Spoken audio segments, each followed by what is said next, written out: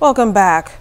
It's Good Friday. That's the day that Christians around the world reflect on the crucifixion of Jesus Christ.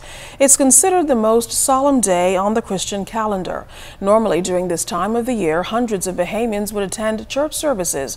But due to the global coronavirus pandemic, Christians worshiped virtually. Bahamas Christian Council President Bishop Delton Fernander says the digital church provides the forum for us to come together as family. He shared this Good Friday message during this uncertain time.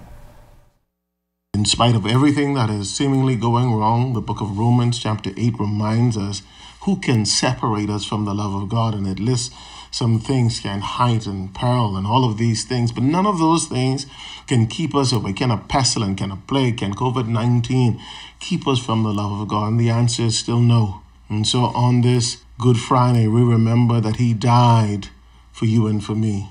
And so I believe it's important that we appreciate that God is allowing us this year, as the church deployed, not the church gathered, uh, streaming into our homes. We have our various congregations hearing from the men and women that are uh, the voices that speak to us, that we have a time of true family worship where we can get together and hear the word of God as brothers and sisters, mothers and fathers, husband and wives, and, and children and parents.